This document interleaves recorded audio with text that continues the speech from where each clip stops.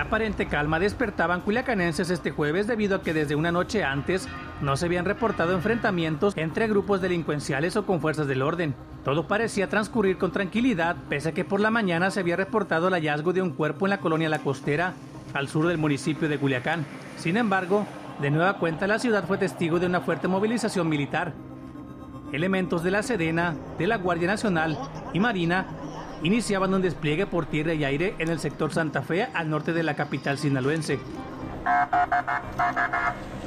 Rápidamente, quienes sí asistieron a las clases presenciales mostraron su preocupación a través de las redes sociales. Aquí en la técnica 90 todos estamos muy asustados, eh, pues a punto de, de decir adiós, eh, nos vamos. Y ahí anda un helicóptero, dos helicópteros.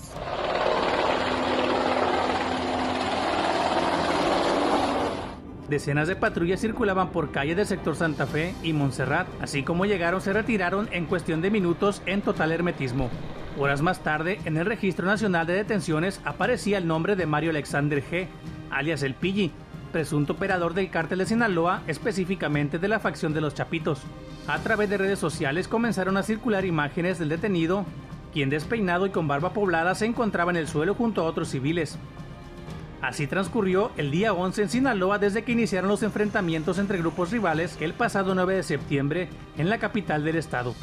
Francisco Morales, Fuerza Informativa Azteca.